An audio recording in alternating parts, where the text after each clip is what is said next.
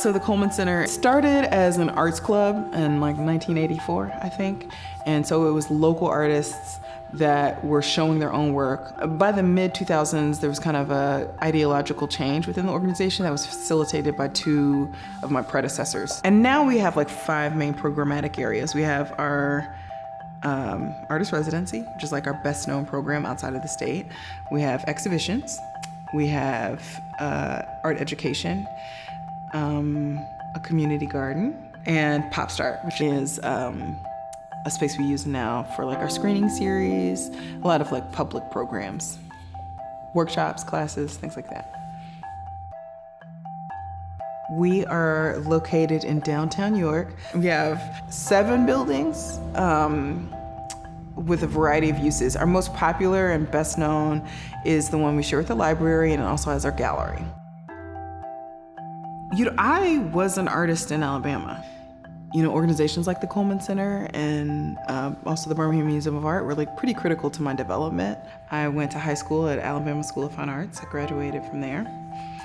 Uh, and after high school and college, I moved back to Birmingham and um, pretty quickly started working for the Birmingham Museum of Art. I worked in the education department. And while I was there, uh, it became clear I, I, loved working in museums. I loved like working as like an art worker versus being a maker myself. And so I went to grad school in the Bay Area at California College of the Arts. I had heard of the Coleman Center and visited uh, probably back in like 2006, 2007. I just thought it was a neat organization. You know, like uh, the Coleman Center is really filling a gap. There isn't an excessive amount of opportunity for artists who are working outside the state to kind of be in practice in the state, you know. And when I was coming back, my dad said this really lovely thing. He was like, "Yeah, maybe you're like the Coleman Center is going to help the next Jacob Lawrence develop." And I was just like, "Oh." Also, it's just a beautiful idea that like we are here to kind of cultivate other folks' creative practice. York was a much larger town. You know, it was at least triple the size it is now. And uh, it had a public park that had a swimming pool. And in 1971, I believe, um, as there was forced desegregation, in this case, it's like pretty profound because we're talking about the majority of the community was um, denied access to lots of public space. Uh, but city leadership at the time filled in the swimming pool rather than desegregate it. And um, you could and still can see the kind of like footprint of the building and the swimming pool space. And then um, a visiting artist decided to kind of um, unpack what it means for the like the vestiges of that to still remain with uh, a diving board um, bench. You know, uh, he he imagines it as something like that people will sit at. Um, and so it's one of the earlier projects I was familiar with. And I thought it did a lot of different things. Like aesthetically, it was doing some things. It was um, the materials he chose I thought were pretty sophisticated and interesting. And then um, the site was was pretty relevant and um, impactful.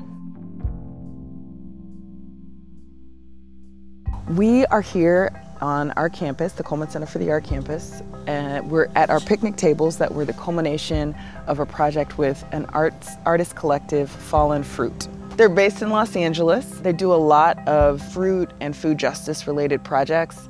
And these tables are one of the projects and kind of the culmination of multiple visits. The project was multi-stage. You know, it uh, included a kind of cobbler potluck where folks from throughout the community brought different fruit cobblers. It also included a jam making uh, tutorial. Um, it included planting fruit trees and uh, doing kind of foraging for fruit locally. And um, at, at those events, they had some oral history and storytelling that, that then was placed on, um, inscribed on the picnic tables. Like Fallen Fruit says, every body has a fruit story, and these tables have a fruit story. Now the space is used, uh, it's like a quiet meditative space. Um, it's well, it has a nice canopy here, so people enjoy sitting in what is relatively cool and um, reading the quotes. So uh, the Coleman Center has been around a long time, and because of that, we've had you know multiple phases. And I really want the Coleman Center to again be able to support folks in practice and like many people in practice, and be kind of a meeting space for community and people in creative practice. You know, to have very robust programs.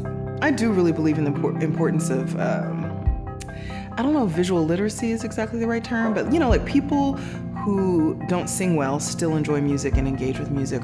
If you're not a formally trained dancer, you still dance and move. But there's something about like how visual arts has been like relegated, and it's like to, to be able to buy objects is for the wealthy, and to be able to do it as an expression is for the highly skilled.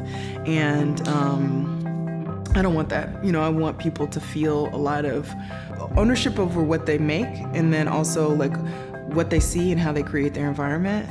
And, you know, that excites me.